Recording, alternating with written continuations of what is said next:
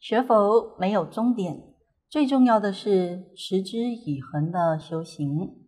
学佛没有终点，重要的是持之以恒的修行。圣吉法师勉励大众持续共修精进，念佛是很方便，随时都能做的事。最主要的念佛，念佛念自心啊，自心本来常清净，念佛功德不思议啊，供养三宝得难量。念一声佛号啊，阿弥陀佛啊啊，最少有五十尊的啊佛菩萨在跟你加持啊，所以念佛好像是在这个时代是最方便。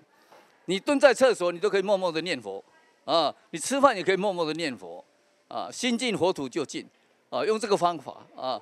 啊，有的很忙没时间念啊，用这个方法你随时都可以念啊！出生念、默念、金刚持都可以啊！当大家呢都尽此一报身，同生极乐国啊！感恩大家看到的、听到的，大家身体健康大发财。好心好行，假巴力旺好尽在说哈。疫情是全人类的共业，全球确诊以及死亡的人数持续攀升。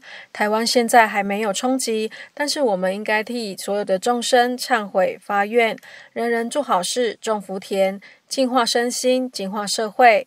史方新闻郭文许建议，高雄采访报道。